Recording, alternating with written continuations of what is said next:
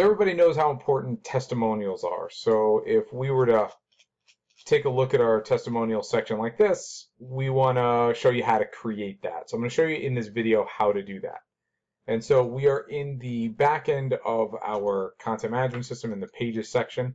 And just like we've been doing before, we're using this home page to just add a bunch of content to. So I'm going to click add new content block and I'm going to click testimonials.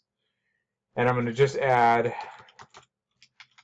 testimonials as the title of my page and click create block. And now testimonials is added to the bottom here. So what we're going to do now is we're going to add content to those testimonials. And I'm going to click edit. And we're going to create our first testimonial by clicking create new entry. And we'll just title this uh, with the person's name. So we'll just say um, John Smith. And we'll go ahead and add his quote in here. We can go ahead and put our little quote marks front and back. And we can upload a picture of John. So if I click upload new and I choose this 800 by 800 pixel image of John, I can go ahead and click create entry and we have our first testimonial in there. I'm going to create two more. So create new entry and we're going to title this uh, Jane Smith. We'll add her quote, put our little quotes in there. We'll upload a new image of her, but I'm just going to open up the library and grab the same image that I uploaded before in the other entry. And I'm going to click create entry. And then I'm going to do one more and add a name of the person, open up the library, grab that same image, click select, have it there, and I'm going to add this new quote here. And I'm going to make it a little bit of a different size so you can just see what that looks like.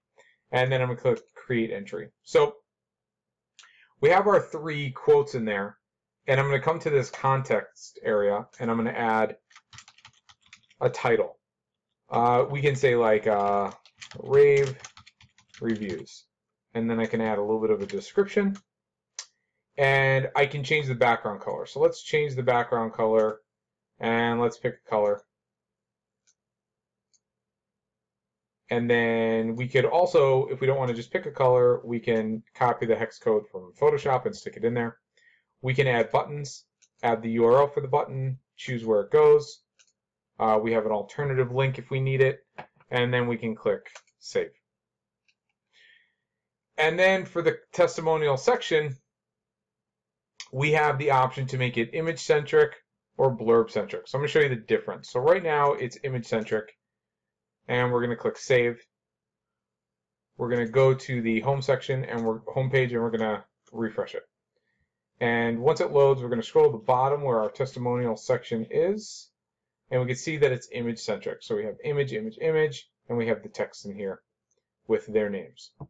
So if we wanted to make it look like this, we're going to go ahead and make it blurb centric. So I'm going to go back and I'm going to change this to blurb centric and I'm going to click save. And when I go back and I refresh this, you're going to notice that all of these items get put into a blurb and our images get moved down to the bottom. Now, if you don't have images on any of them, the images just won't show, and that's okay too. So you can go ahead and leave the images in or take them out. And as always, you can go to uploaded items and you can edit these items, these images, title and text for SEO purposes. Now let's go and add a couple more entries to show you what happens uh, with these entries. So let me go ahead and click create new entry. And I'm just gonna um, put in some text, open library, add the person. So I've showed you already how to make it, so I just kind of move through that really quickly because I just want to get another entry in there. So we have a fourth entry in there.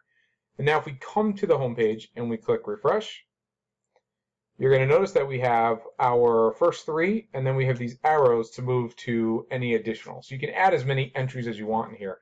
And when you get to the end, it just moves you back to the first one, to the first set of three. So you can add as many entries as you need to. And that's a great way to do testimonials.